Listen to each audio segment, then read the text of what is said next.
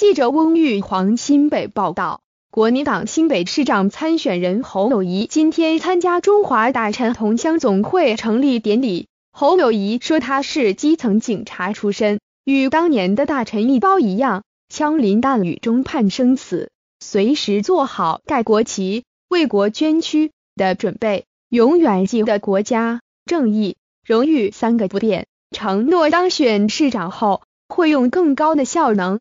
更大的魄力，让大家安居乐业。侯友谊先向在场的大臣一包致敬，感谢大家当初为国家所做的牺牲。来台湾后，更是把生命奉献给这块土地，创造台湾的安全与经济奇迹。他担任新北市副市长时，也与市长朱立伦一起努力把市政做好，包括盖轨道建设、污水下水道、拆除违建、抓赌博和色情。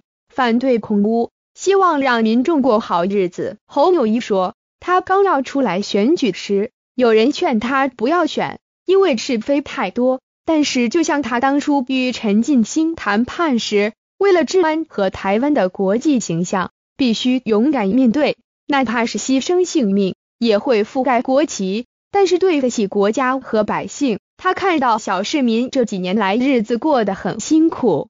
有责任站出来挑起担子，继续为新北市民盼经济。未来不只要有三环三线，更要做到三环六线，让新北市有更多产业。不只要与台北市并驾齐驱，更要超越台北市。